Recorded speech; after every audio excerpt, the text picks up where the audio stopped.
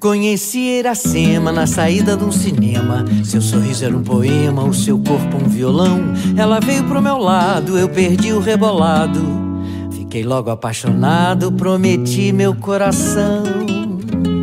Fui levar a moça em casa, mas meu corpo tava em brasa. E a gente bateu asa um motel da região. Nessa noite ávida, Iracema ficou grávida e a sua mãe impávida exigiu reparação. A minha sogra pôs mãos à obra, fez a manobra pra nos casar.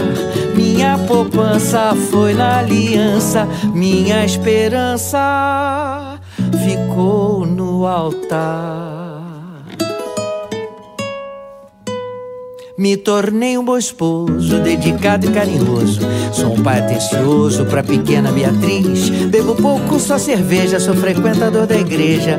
Mas a sorte não deseja que eu consiga ser feliz.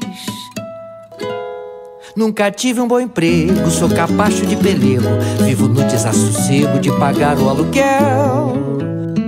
E a desgraça mais recente, minha sogra de repente foi morar junto com a gente. Que destino mais cruel.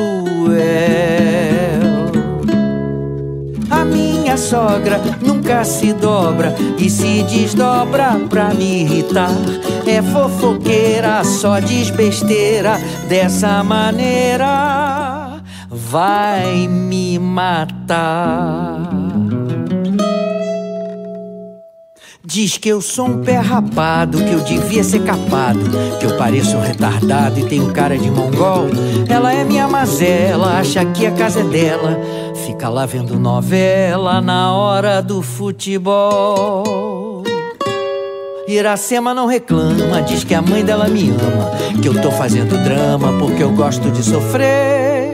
Enquanto a vida segue, minha sogra me persegue. Qualquer dia ela consegue, vai enfim me enlouquecer. A minha sogra é uma cobra, é uma droga que ninguém quer. É intriguenta, é rabugenta, ninguém aguenta essa mulher. Dia desses no rompante, arranjei uma amante. Sou cristão, sou praticante, mas também não sou herói. Ela se chama Jurema e detesta ir ao cinema. Foi garota de Ipanema num concurso em Niterói. Foi criada em orfanato, acha casamento chato.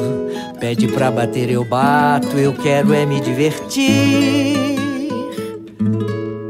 Ela ainda é uma menina, mas é muito feminina. A Jurema é gente fina e adora me servir.